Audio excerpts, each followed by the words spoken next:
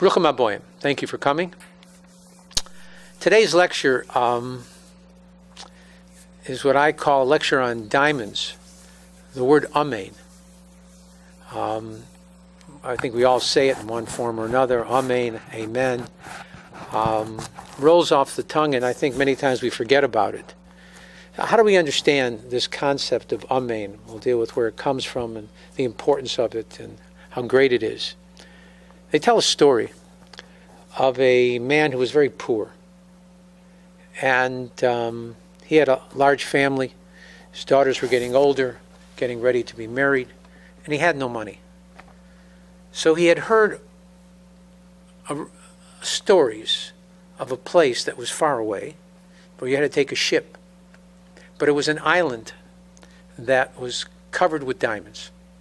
That just like we have stones, this island was covered with diamonds. And he had heard it and heard it, and he was so poor and he had no place else to do, so he got together enough money to board a ship.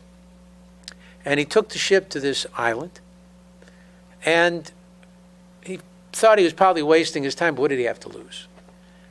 And as he deboarded, as he left the, the ship and walked onto the ground of the island, he couldn't believe it. he was standing underneath his feet. There were just precious gems all over the place, diamonds galore. And as you can imagine, I mean, he almost had a heart attack from all the joy that he felt, and he started stuffing his pockets. Everything that he could that had that could hold anything, he loaded up with diamonds. And he could barely walk. he was so laden down with all these diamonds. And doing all of that got him hungry, so he decided he went to what looked to be the finest restaurant he could find. And he sits down at a table and he orders the most expensive thing on, the biggest steak that he can on the menu, and he, the best bottle of wine. And he's in ecstasy. And the waiter comes over after he's had the meal and gives him a bill. And he pulls out a diamond and he fixes what the heck he's got. He gives pulls out two. He gives the diamond to the um, waiter and he says, Here's another one for you. Keep the change.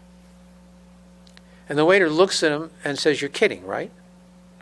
He says, No, no, I, I, you can keep it. I mean it. He says, No, that's not what I mean. You're paying me with this? And he says, It's a diamond. I'm really overpaying you. What do you mean, am I paying you with this? Very ungrateful. And the waiter says, You don't get it. Where did you get them? He says, Outside, they're everywhere. He says, Exactly. They're, they're, they're worthless.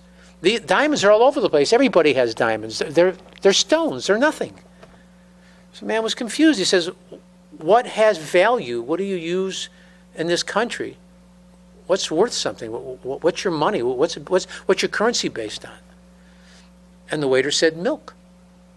He said, Excuse me? He said, Milk. He said, Really? He says, Yeah. The most precious thing we have on this island is milk. The man with the most milk is the richest man on the island. He says, Wow.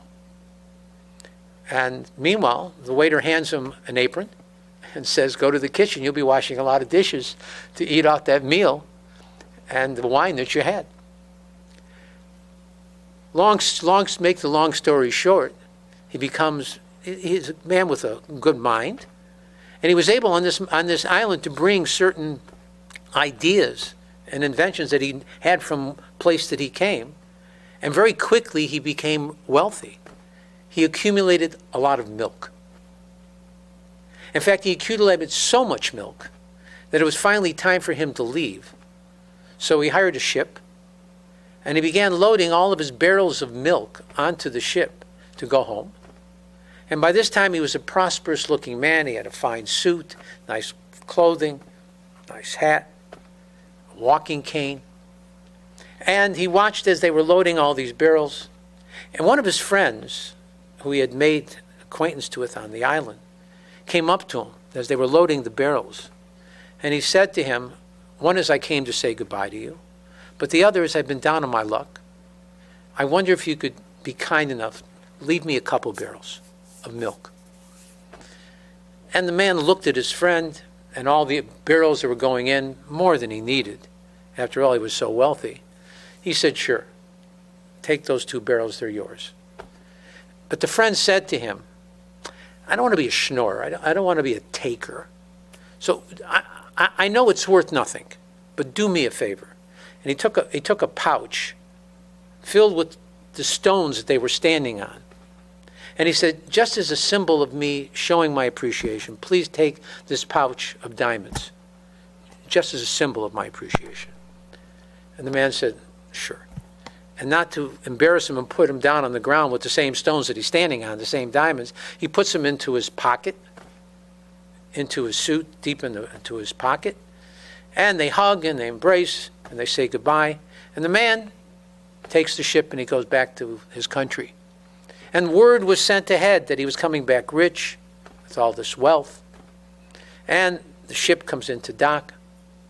And they begin taking off one barrel after another barrel of milk. And everybody's wondering what's in the barrels. And they're wondering, they have all kinds of ideas what it could possibly be. Then they open up the barrel and they find milk. And everybody looks at milk. Milk, we throw it away. It's, it's, use, it's worth pennies here. Not only that, the milk had soured on the trip. So what is it wasn't even worth anything as milk.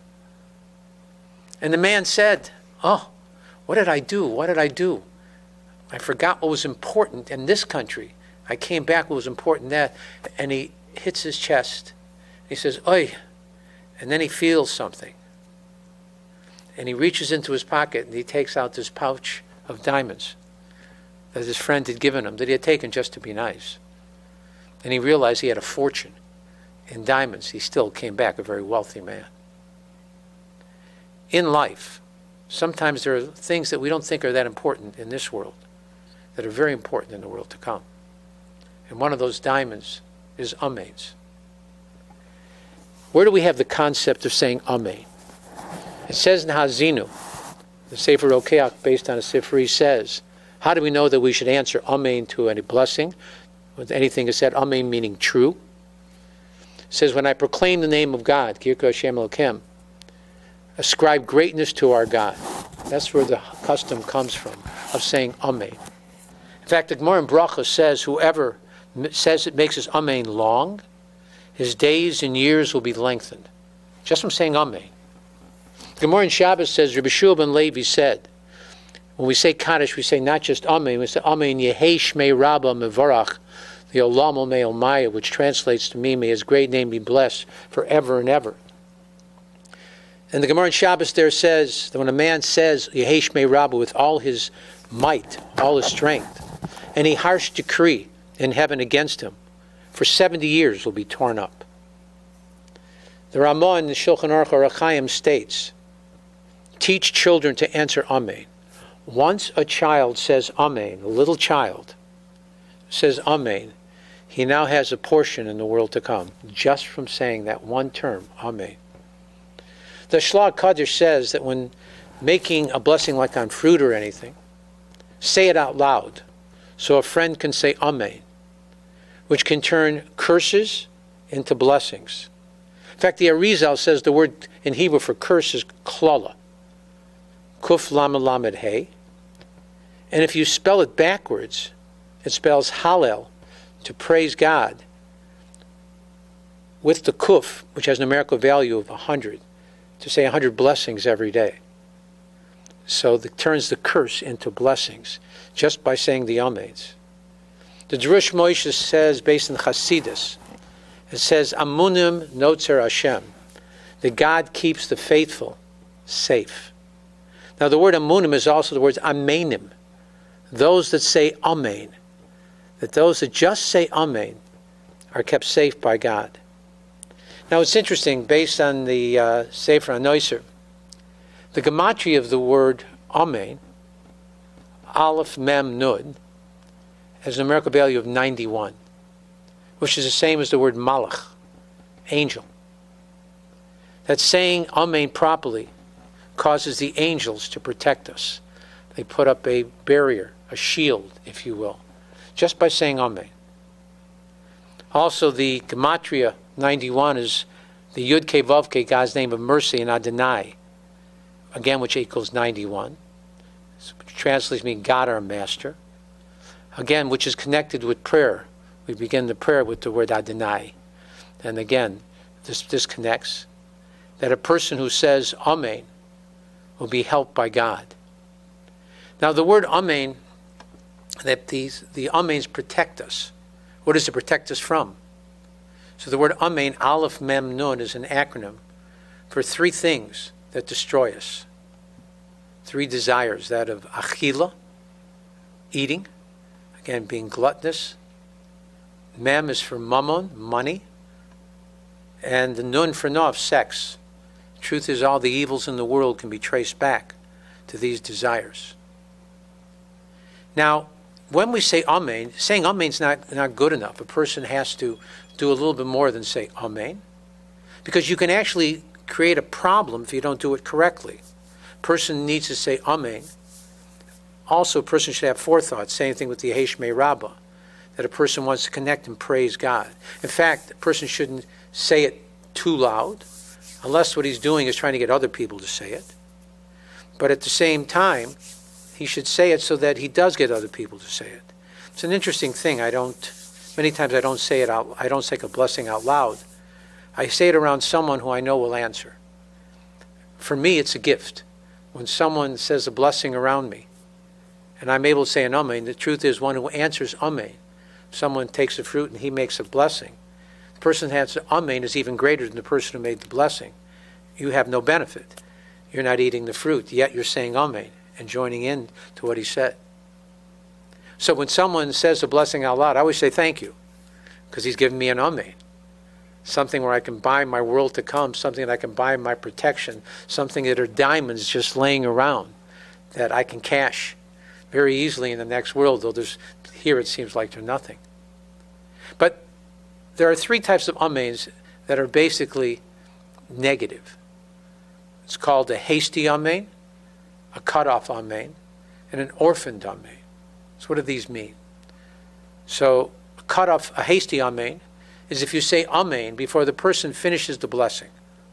So the person's still saying the words, he hasn't finished it. You see, some people are like jackrabbits, that they say amen and the person's still making the blessing. That's not proper. A cut off amen is where you don't say the actual word amen. You leave off part, one, of, one or one of the letters beginning or end, so you swallow it and you really don't say it properly. And the orphaned amen is that when someone makes a blessing, you remember sometime afterwards, that seven second delay that they have on, uh, uh, on, on television, where they have a break before it happens. Again, that too is incorrect. What's the problem with them?